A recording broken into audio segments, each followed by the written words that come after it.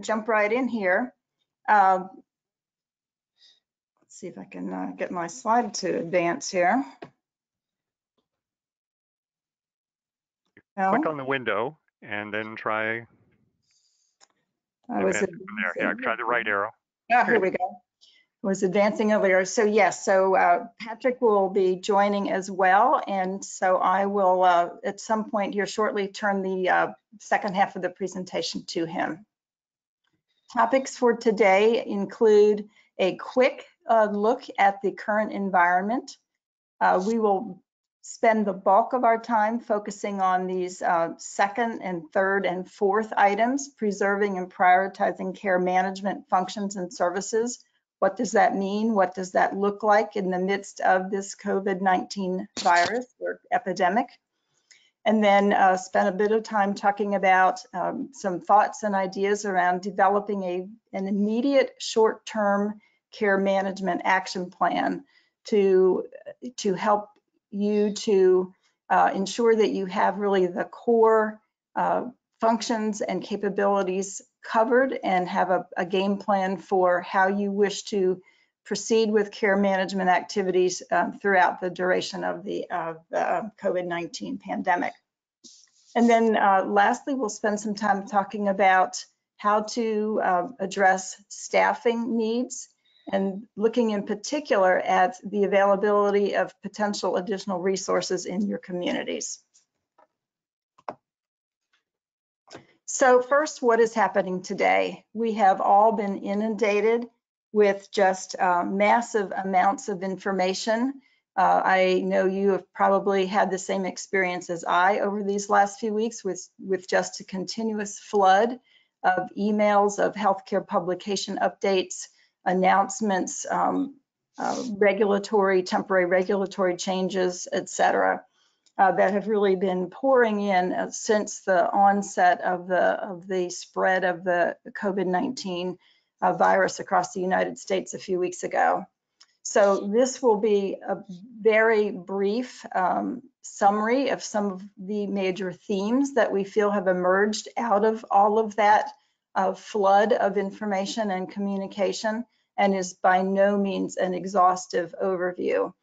Uh, but just a few uh, areas that we thought would be good to highlight, and that is certainly first and foremost, has really been front and center in, in the daily news and nightly news updates, and that is the impact for some communities on massive um, volumes of, of uh, ill individuals coming into their emergency departments, many of whom do turn out to be uh, COVID-19 positive and are uh, in many instances acutely ill. We know that New York City has been the epicenter in the United States, but unfortunately a number of other urban communities are, are now uh, having the same types of experiences, Detroit, New Orleans, Chicago, uh, to name a few. And of course, all of this really began on the West Coast in Washington State. Again, um, stating what has been very widely publicized, but temporary hospitals and um, urgent care uh, capabilities, facilities have uh, been popping up in these hard hit communities primarily. Uh, convention centers, parks, I heard on the news earlier this week, uh, cathedral, uh, literally the sanctuary, the cathedral being converted to a temporary hospital. And of course, the availability of the two floating Navy hospital ships on the two coasts. Uh, another uh, theme and, and one that has obviously been of great concern and carefully being monitored is the increasing number of healthcare workers who are themselves testing positive for the coronavirus. Uh, another phenomenon that we're experiencing, that we're seeing and hearing about, are physicians and nurses are being asked to um, to be or being uh, being redeployed to either the emergency departments and the ICUs in their own facilities or um, being asked to go and help to staff the temporary facilities that have been created. And likewise, retirees are being contacted and being asked to come back. Uh, a number of states have issued calls, uh, New York, California, Colorado, Washington, and Illinois as examples. Again, to really provide urgent, immediate coverage in those, in those areas of, of crisis need. On the flip side, we also know that many organizations, and perhaps many of you are representing those organizations today, have not experienced yet a, a surge in of, of, ill individuals coming in uh, with um, potential or actual um, COVID-19 infections. And in fact, are um, because of the discontinuation of non-emergency care and uh, uh, cancellations of elective surgeries are actually experiencing lower than usual volumes, smaller inpatient census than usual, and lower ED utilization than usual. So we have the two extremes really happening concurrently depending on where you are across the United States today. And that really, um, so, so those factors really have implications in terms of who really is focusing on what at this moment in time. I've already touched on this, but we thought you might be interested to see a couple of um, recent uh, quotes and comments related specifically to the issues of inadequate capacity and staffing. Uh, about a week or two ago, um, the study was published uh, by Harvard uh, many of the academic uh, medical centers and, and, academic institutions across the United States have been uh, doing quite a bit of data modeling, trying to really understand and anticipate uh, demand and, and also looking in particular specifically at uh, the need for the demand for ICU beds and for ventilators. So this was a, a quote from Harvard, uh, a professor at Harvard, uh, identifying the potential uh, for um, uh, for inadequate capacity. And then uh, more recently, uh, Governor Cuomo in New York put out a re urgent request asking health insurers who employed physicians and nurses to release them from their duties as, as it was stated so that they could help to treat the uh, massive influx of the COVID-19 patients. And then another area of concern, and that is um, related specifically to the, the impact of all this on the healthcare providers and staff and themselves. So as you see here, concerns about, and, and we certainly are, again, hearing this on the nightly news, uh, nightly news, and that is uh, individuals talking about putting in 10, 12, 14 hour days, uh, expressing exhaustion, uh, certainly fear of an uncertainty related to their own health and the potential for uh, contracting the, the, the uh, virus, but also great concerns and fears related to the safety of their families if they're going back and forth between home and, and the healthcare setting. And so there are concerns that medical professionals are likely to experience increases in stress and anxiety, certainly are increasing, uh, uh, increasing stress and anxiety, but also a sense of powerlessness and uh, perhaps even anger, uh, rage, as this gentleman from Tulane um, indicated, uh, really directed at individuals who are perceived as not following uh, some of the CDC guidelines, in particular social distancing. So we have those um, factors at play in this current circumstance as well. So given all of, all of those major issues, why focus today on care management? Care management has emerged as a leading strategy uh, for managing the health and improving the health of populations. And so uh, I really like the um, definition from the, um, or the uh, description from AHRQ that you see here, that care management is really around the principle of uh, offering appropriate care to individuals within a population that will reduce health risk and total cost of care. And I do encourage individuals to take a look at your leisure or at your convenience at that article. That is, uh, we have the link in the uh, in the slide here. It will be in the slide deck when you receive it. Uh, but I encourage you to take a look at that article if you are interested in more information about uh, care management And um, there are there are some some very useful information in there uh, related to um, uh, some of what we will touch on today in terms of the the role of care management. Uh, this really, again, really summarizes some of the potential impacts that we are experiencing. Um, we've already touched on a couple of these things, but again, fragmented care systems and the, the historic fragility of the safety net in the United States has created a situation where vulnerable community members are now at heightened risk.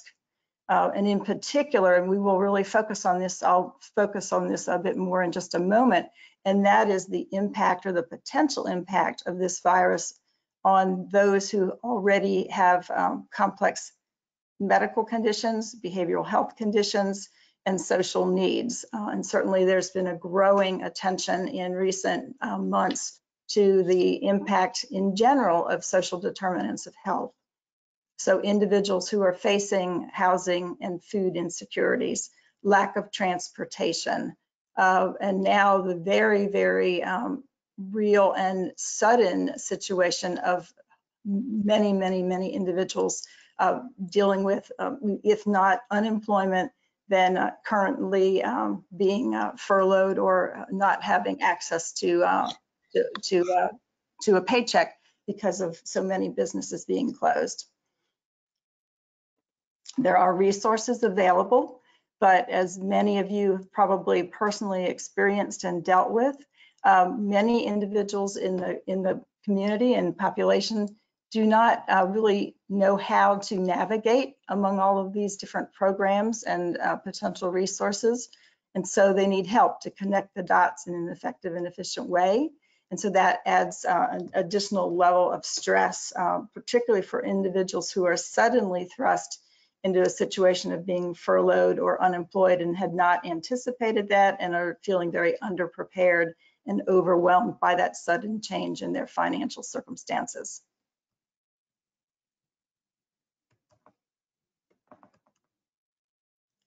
Well, I can get my slide to advance here. Again, I'm having trouble with that, Benson.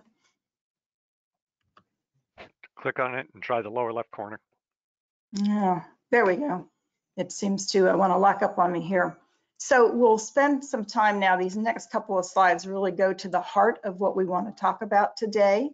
Um, the immediate care management goals and priorities for individuals who are not currently, for those of you who are in organizations not currently in the throes of a major influx of ill individuals, uh, ill, ill coronavirus uh, individuals, uh, this this is an opportunity for you to uh, to take a look at care management explicitly in your organization.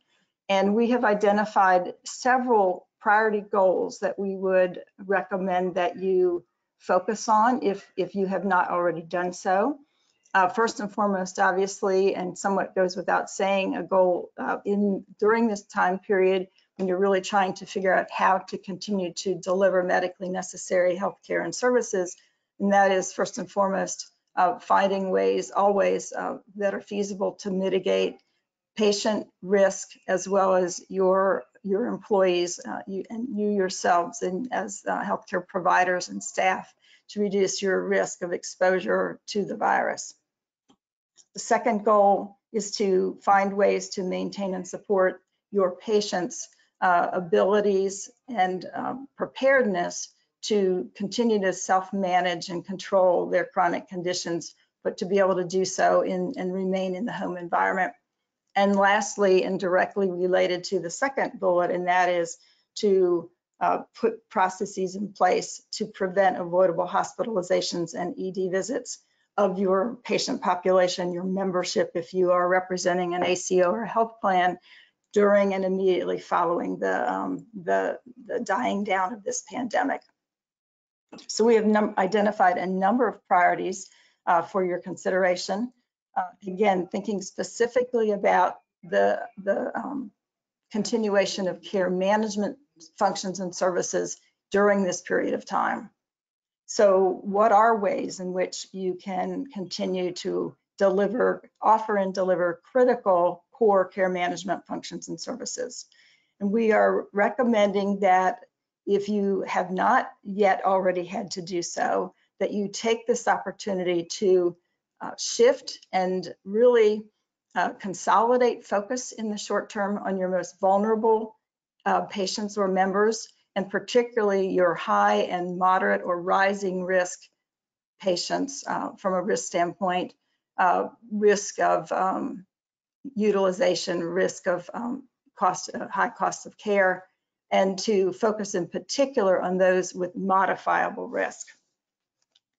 Um, and then to, uh, if you, again, if you have not already done so, if your organization has not already done so, to ensure that you are utilizing all available mechanisms to communicate with your patients and your members at this time, how to access care and services. Some organizations have consolidated service delivery sites uh, during the um, COVID-19 crisis. Uh, so ensuring that you may have altered hours of operation. Uh, so ensuring that that type of information is widely and broadly disseminated so that your, your patients, your members are well aware of what services are aware, available where and when. And then lastly, um, how to access, access care management services. If one of your, your patients, one of your members is suddenly in a situation where they're, they use home oxygen and they're running low and they're having difficulty reaching the, the home oxygen vendor, then do your patients know who, what to do, who to contact. So those would be some of the critical elements that we would recommend that you think through and ensure are being broadly communicated to, to your patients, your membership on an ongoing basis. And then lastly, um, and we'll spend the, a, a, bit of time on this topic specifically, we do recommend that organizations take this time to develop and begin to implement a short-term focused care management action plan dealing explicitly with this current circumstance. So first and foremost, assessing current care management resources and capacity, both looking internally as well as externally determining if you have any immediate uh, needs to bring in additional individuals, and then uh, thinking through what does that mean in terms of immediate um, training requirements, what materials, what resources, what is core information that someone must must know in order to be effective in, in the job. Uh, examples would be, again, going back to my earlier comments, are there individuals that are recently retired that might be able to come back in and, and plug in and assist in your care management department?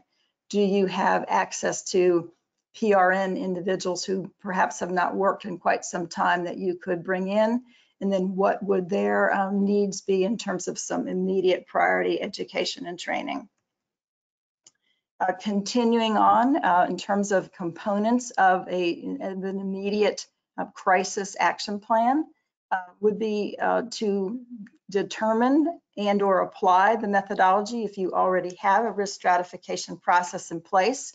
Uh, can that be run um, in the in immediate short term to provide you with updated information on the patients or members who are falling out as high or moderate risk, uh, utilizing um, typically risk stratification tools uh, for those of you with larger organizations, uh, that capability is uh, most likely uh, available and, and often is built into the electronic health record system. If you are representing a small, a very small rural community hospital, you may or may not have access to uh, those um, uh, risk stratification, embedded risk stratification tools and methods.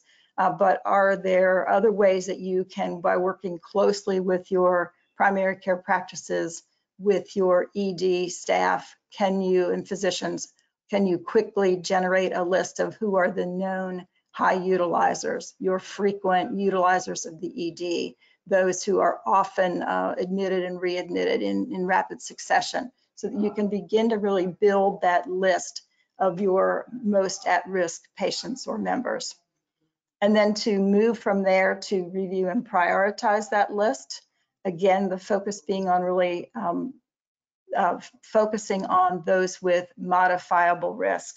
And by that I mean they have they have risk that is um, that, that can be impacted through both um, external um, access to external healthcare um, uh, and services, and also uh, they're, uh, they are modifiable in terms of the individual, him or herself, having uh, opportunity to, to have some control over the um, progression or the um, implications. So diet, exercise, smoking would be classic examples of modifiable risk factors. And then once you have identified that, that those subsets of your total uh, patient or membership, patient population or membership, then uh, and you've done that stratification, you've you've created that list of individuals who you think um, have modifiable risk, then to um, prepare a plan, uh, develop scripts if necessary, if you do not currently already have such a thing, to guide then proactive outreach to those individuals that you have now identified as being your, your most at-risk individuals. Again, we're in an, a very atypical situation. Most routine care has been um, postponed or, or canceled, delayed. Um, uh, preventive care has been, uh, those appointments are typically have been canceled. Um, elective surgeries have been uh, discont uh, have been canceled or delayed. So what are ways in which you can continue to uh, make contact with these folks that you have now identified as being at risk? One of the things that we do strongly recommend is that if you are going to be utilizing non-clinicians to assist in these outreach calls, these proactive outreach calls, that you would work together with your physician leaders to identify and uh, reach uh, rapidly reach agreement on what are key triggers uh, that would prompt the non-clinician performing that outreach uh, call to immediately refer that patient to uh, or that member to a, a clinical uh, resource. And again, we would strongly recommend that these kinds of um, decisions would be documented, that you would develop or modify an existing script so that you can then have consistency of, um, of the um, way in which these outreach calls are handled. And then finally, obviously, to begin to actually conduct those um, proactive outreach calls, um, core goals of those calls, as you see here, will be first, as I've already mentioned, you want to ensure that folks who have, uh, particularly those with chronic conditions, um, that they are continuing to have access through one avenue or, or another to medically necessary care and services. I was talking uh, with a physician earlier this week in a, in a, a virtual meeting with a, a client uh, hospital, and one of the physicians, unsolicited, um, said to me that one of his real concerns right now during this time when routine um, appointments, routine um, opportunities to see their patients are really all on hold he said he was worrying about his individuals with hypertension. He was worrying about uh, his individuals with diabetes and was um, really concerned if he was not going to be able to see them for some period of weeks to months. Um, and then secondly, and there's been quite a bit of focus on this, a number of um, updates have come out in rapid fire order from um, CMS uh, related to optimizing the use of video conferencing and telehealth technologies. As many uh, or most of you know, CMS has temporarily broadened access and uh, has made reimbursable a much broader array of Medicare services uh, that are now uh, permissible to, uh, to deliver in a telehealth um, environment. There is a, a good um, new CMS telehealth toolkit that was recently uh, sent out uh, geared specifically for general practitioners. So you see we have the link to that publication here. Uh, there have been a number of very good summaries that have come out specifically related to telehealth uh, during this um, period of the uh, COVID-19 virus, and we would encourage you to take a look at those and to explore all avenues to uh, implement those sorts of um, uh, technologies if you have not historically done so. And then uh, I've already touched on uh, the issue around social determinants of health. Patrick will talk in more detail about that shortly. But wanted to, again, as you are thinking about uh, and as you are uh, and perhaps already doing uh, proactive outreach to your uh, vulnerable and high risk, uh, rising risk members or patients, that you would, um, again, I would strongly recommend that your staff utilize a standardized um, basic, it can be a simple assessment tool that would incorporate core social determinants of health. The CDC has a very good um, tool that is uh, on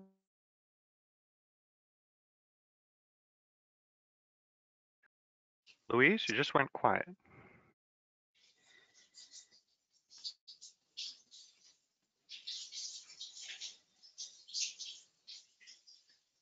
Well, Patrick, I guess, uh, can you jump in until Louise gets her audio back? I sure can. I sure can. As a matter of fact, I think we'll take it to now. If I have the uh, the ability to drive and click to the next slide, that will help. Can you give me that permission? Because I can't seem to do that. Yeah, it looks like she's gone offline. So I think the uh, internet connection in her area may have gone away. So I am going to become the presenter and I'm going to show a PowerPoint. It should be in about the same area. And I'm going to give you keyboard and mouse All right, and see if you can advance. That looks promising. right there there. you go. Okay.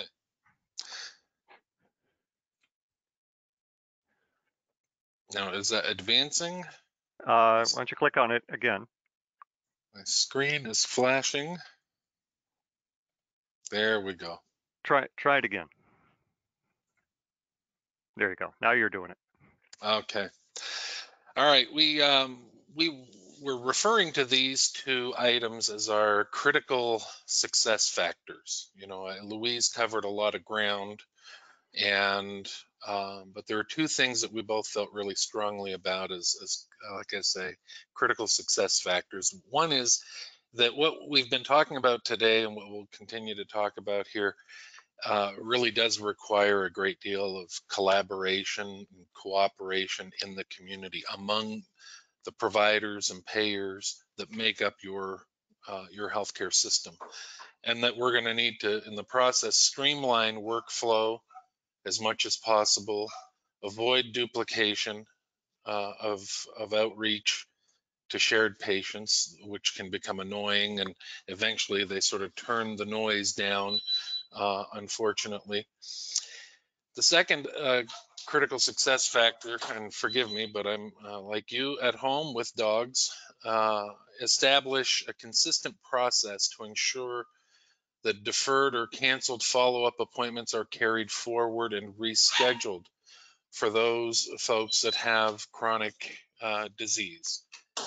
And I think uh, there to give you an example, if somebody was one of those patients that the um, doctor was worried about and they're not coming in for a regularly scheduled appointment, that you keep track of those folks and you're able to see them as soon as possible uh, once they can uh, uh, get out of their homes and, and back to uh, outpatient visits. Okay. I'm trying to click through to, to next slides here again, Benson. Here we go.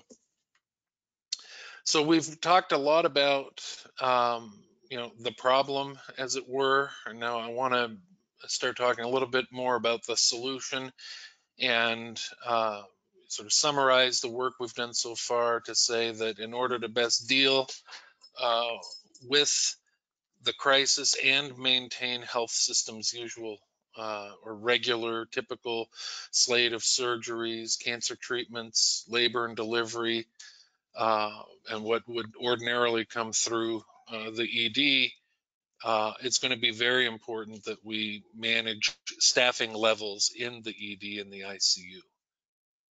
Number two, in order to meet the needs of, of all people, uh, and uh, the needs of the ED and ICU, particularly high acuity needs, uh, we're going to need to, and this is our premise, we're going to need to leverage significant numbers of case managers, care managers, care coordinators, and community health workers that are available within and across communities. There are admittedly some health systems that are so robust that they're not going to need to leverage uh, other professionals in the community. However, as you move away from our metro areas and into more rural areas, uh, it is true that we're going to need to leverage as many uh, community stakeholders as we can. And that's what we're going to talk about next. The result is a, a flexing, if you will, of care management for the duration of the crisis in a way that assembles care and case managers and coordinators as a common core that can align with that patient risk. So, you know, when Louise was talking about stratifying the risk, uh, identifying people with disease registry, for example, uh, you know, the uh, folks with diabetes and COPD and heart disease and, and whatnot, assigning to them the most qualified medical professionals, care coordinators, uh, and medical case managers, but at the lowest risk, uh, being flexible enough to assign community health workers, uh, you know, bachelors in social work, uh, case managers who can provide a different level, uh, subclinical level of case management. That's the design we're after, and I'm going to try to click through to the next slide. Here it is. Uh, I'm not going to read all the words on the screen, uh, lucky for you.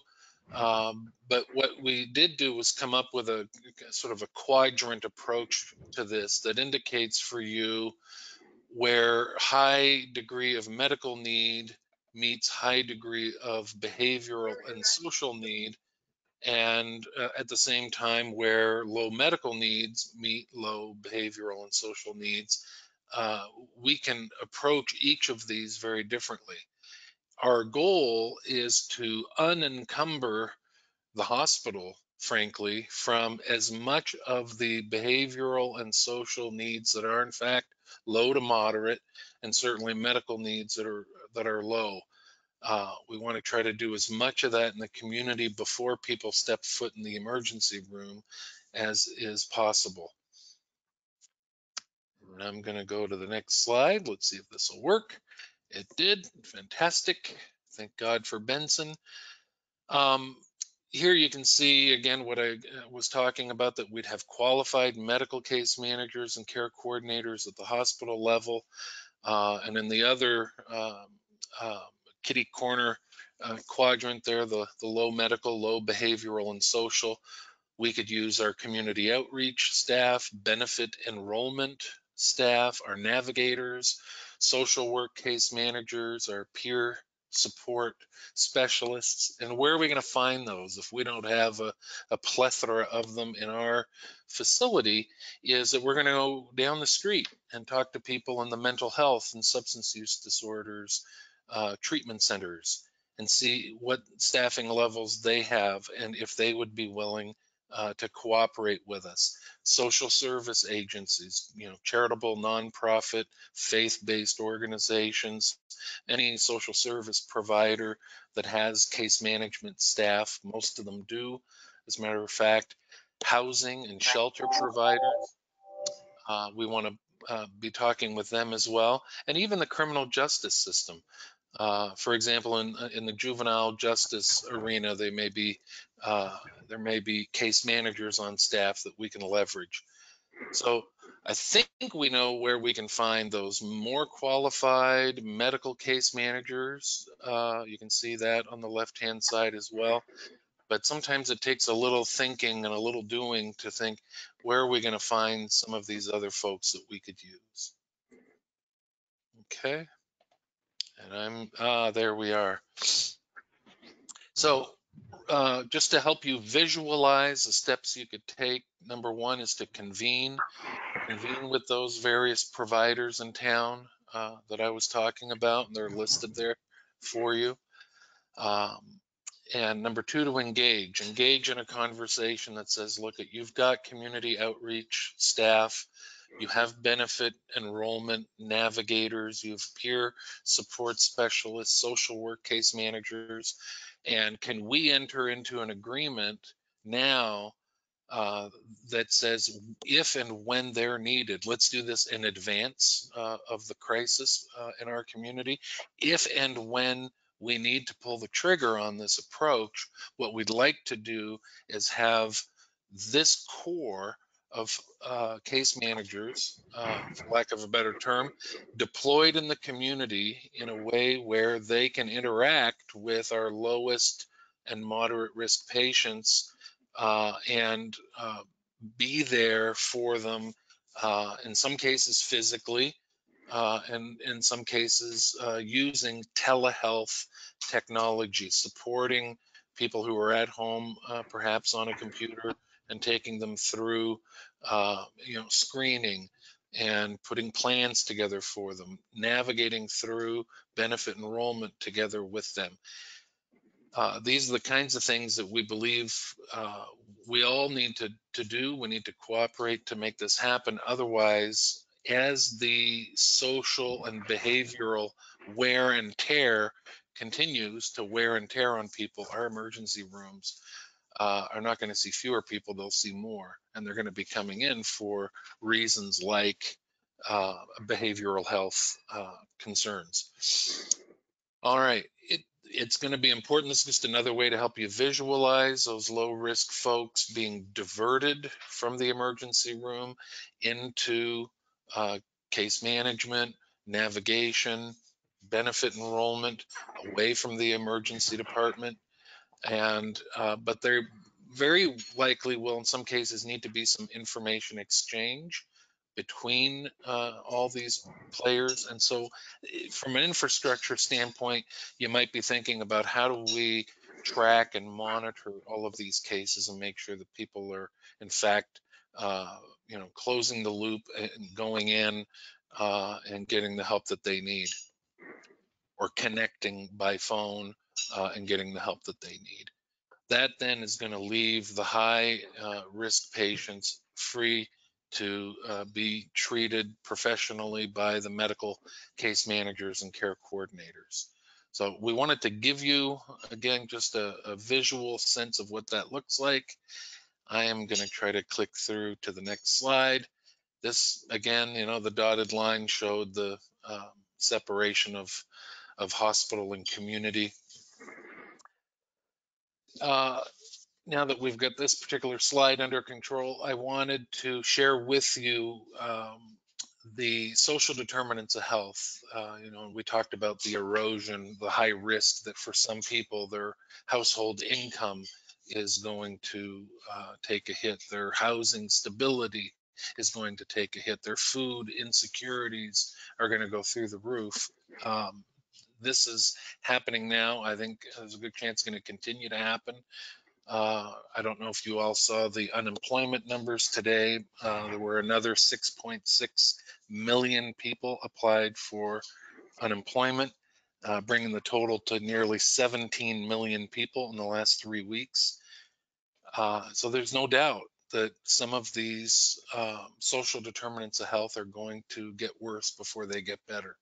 And um, having a way to screen for those is important.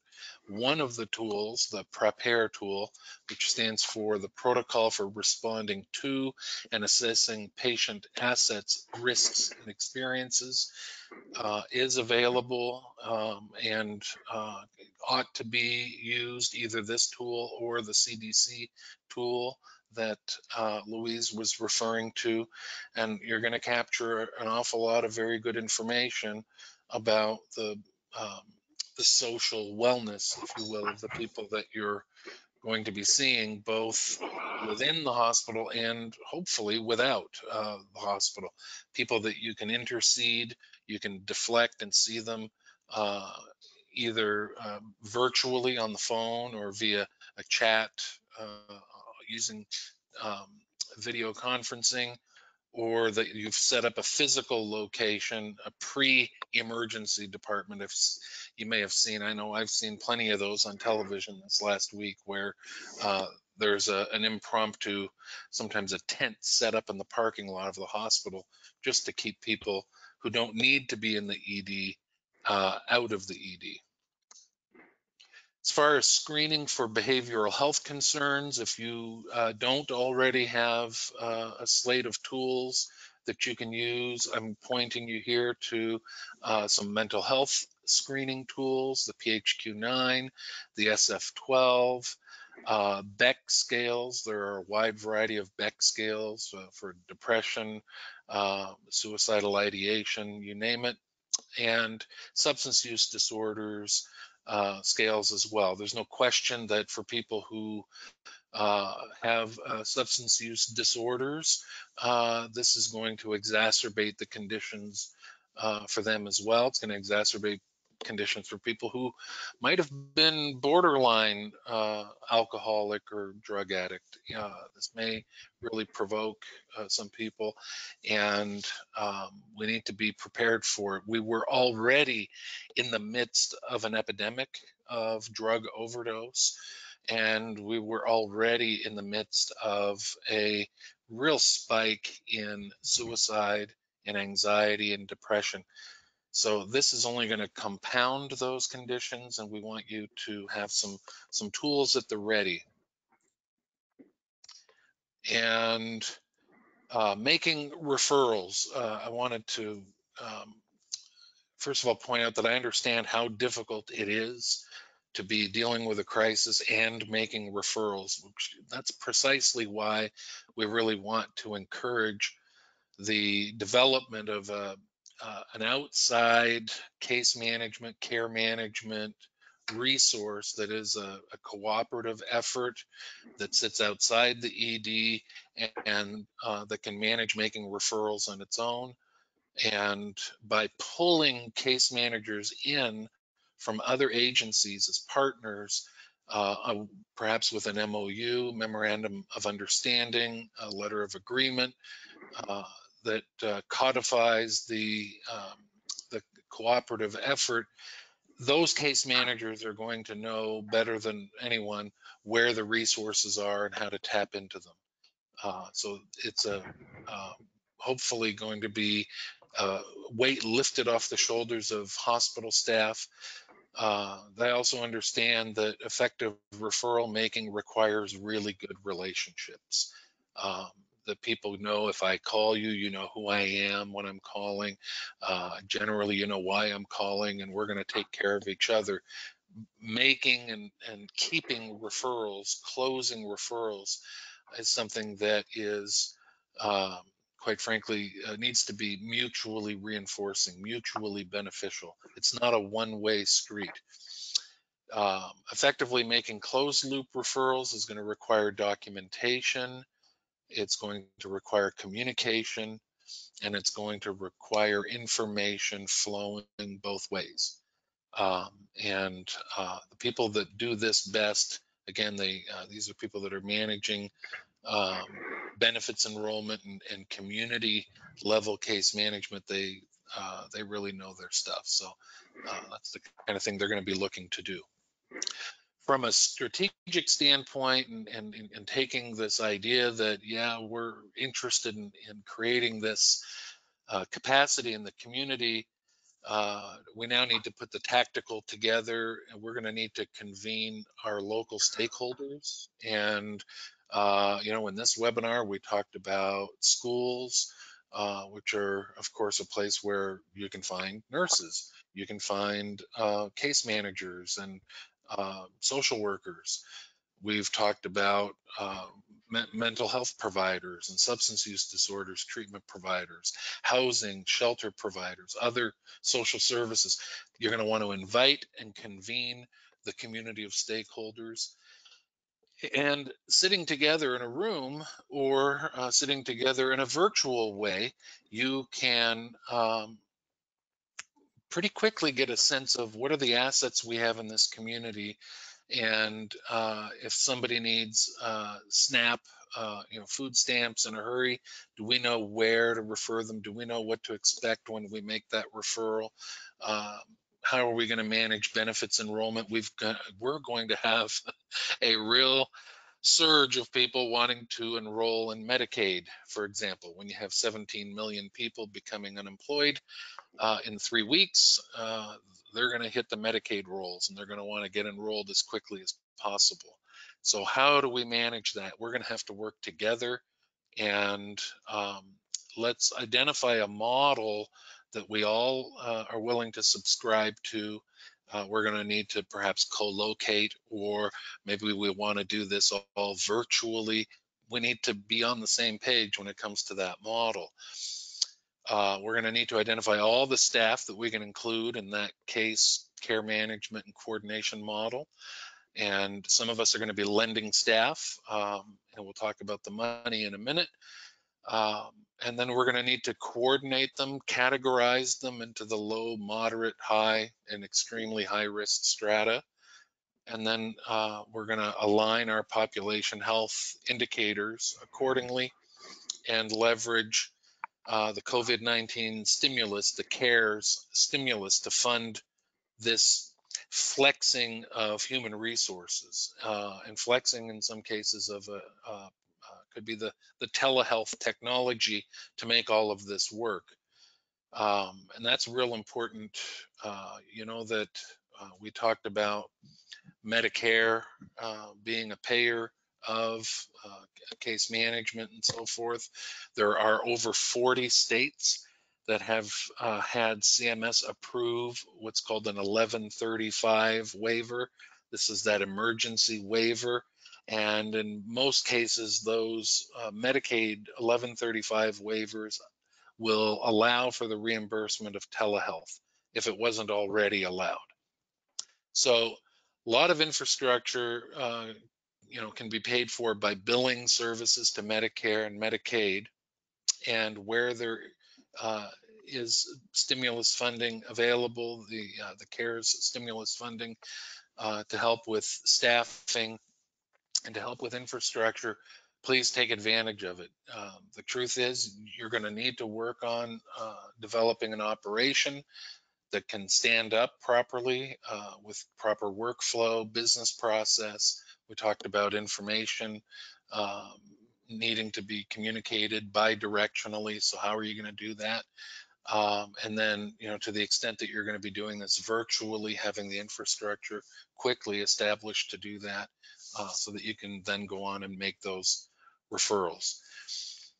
In terms of getting paid, uh, we just talked about this a minute ago, Medicare, Medicaid, uh, check with commercial insurers in your area to see if they're paying for telehealth and uh, care management, case management, and of course the stimulus funding.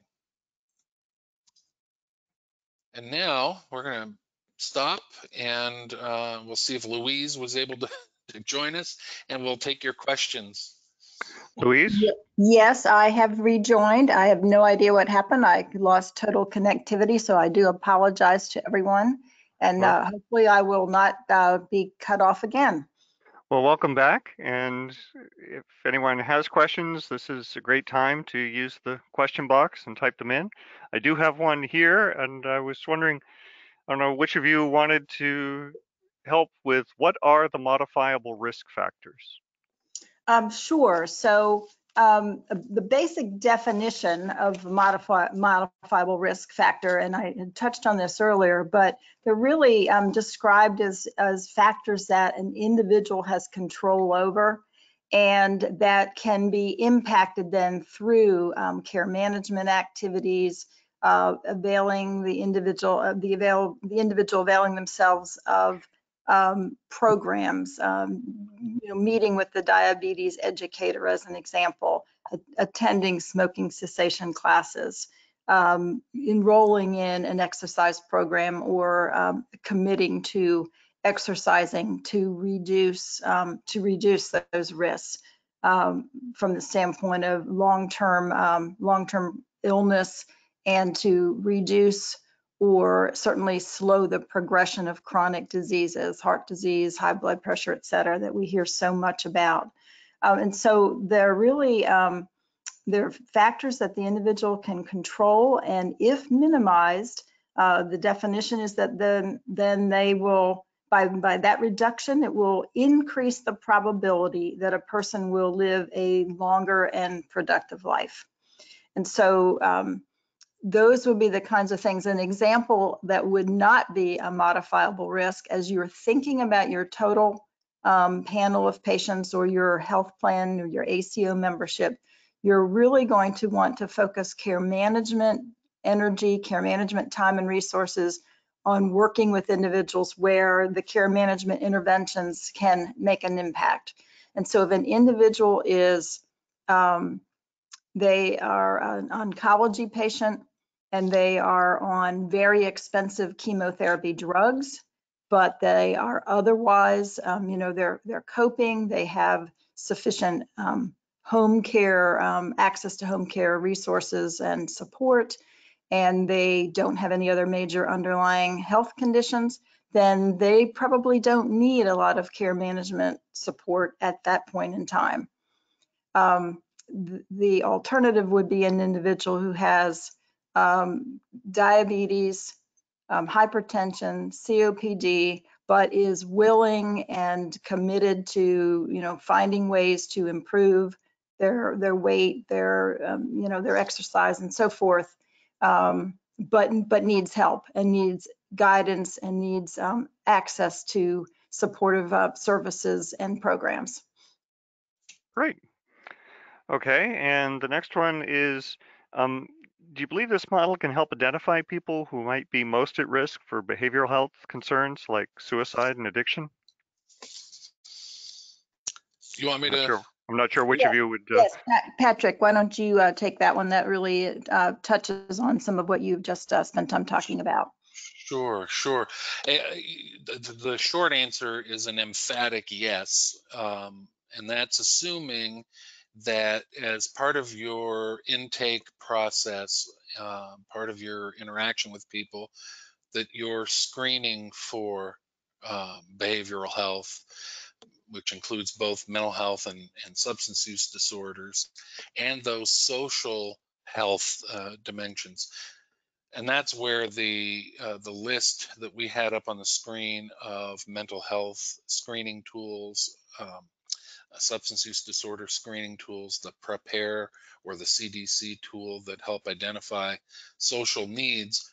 Um, you know, putting that on the front end of your intake uh, from the get-go, not waiting and saying, okay, well, we're going to scramble and do a bunch of stuff and then maybe someday we'll add these things that we are and I, I really want to underscore this we're in a very very difficult position because we already uh, you might be familiar with the term uh, that was been made popular unfortunately in the last uh, five years or so these deaths of despair uh, you know, since the Great Recession, our numbers around suicide and overdose have done nothing but go up.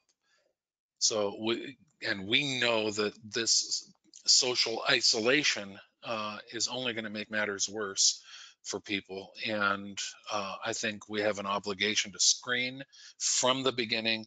Uh, and, and, it's why the model we're describing says let that screening take place uh, over here, not in the emergency department, and engage your community resources to do that. Uh, it's too much work for a hospital, for example. You've got to get the whole community participating, and we got to we got to find people and we got to take care of them. Otherwise, our numbers are going to be bleak. All right. Well, thank you. And we another question: When doing care management, which is time intensive, how do you tell the story so payers know the good work that's being done, i.e. getting someone housing or food or mental health intervention? Well, that's a that's a great question. I would say um, certainly having um, uh, solid documentation.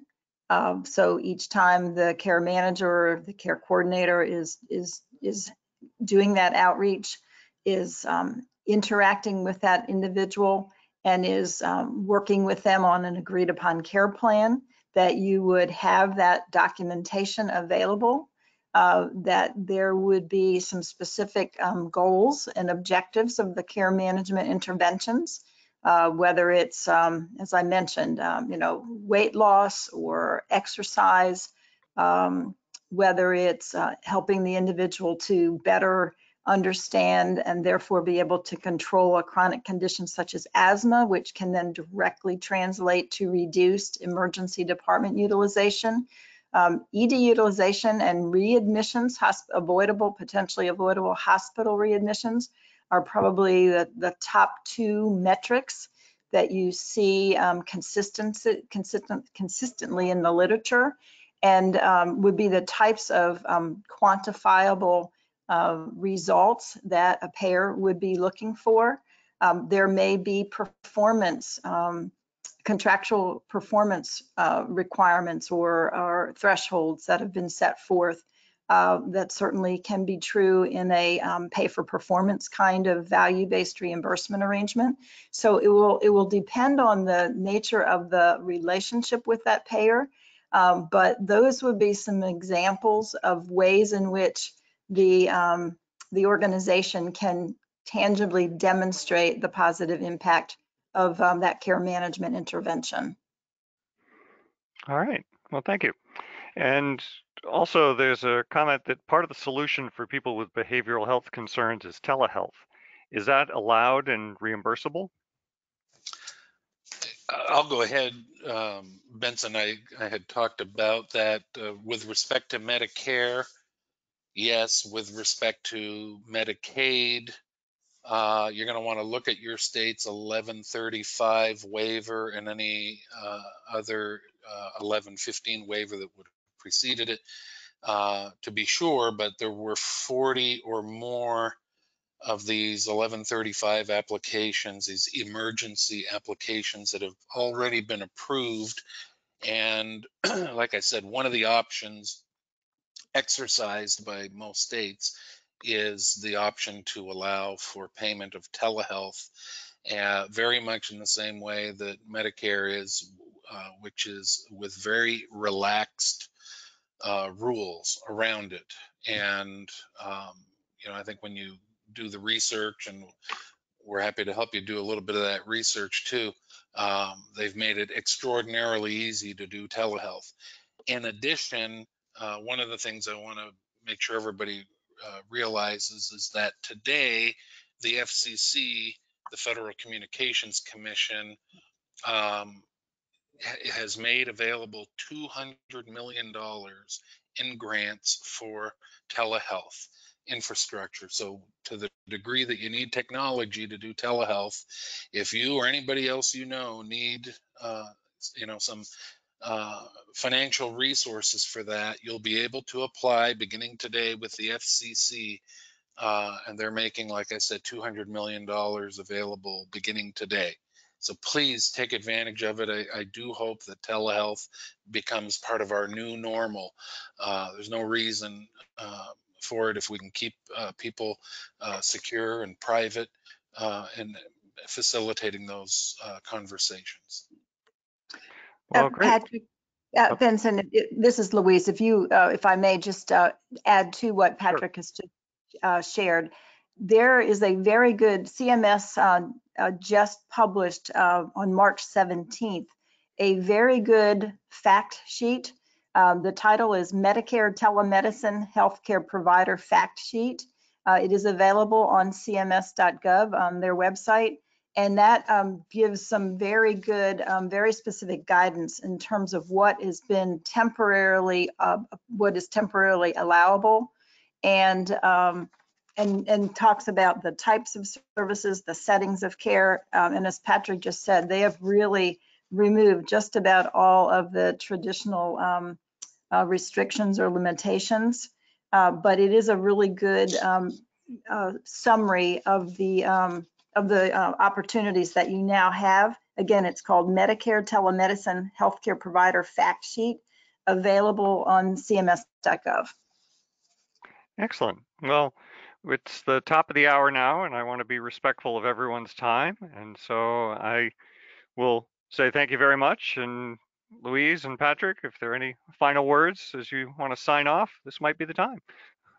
Well, I would like to thank everyone for participating and attending today's, um, today's webinar. If you have follow-up questions or if you had questions that you didn't have an opportunity to submit, please do not hesitate to reach out to, um, to, to Patrick or to myself.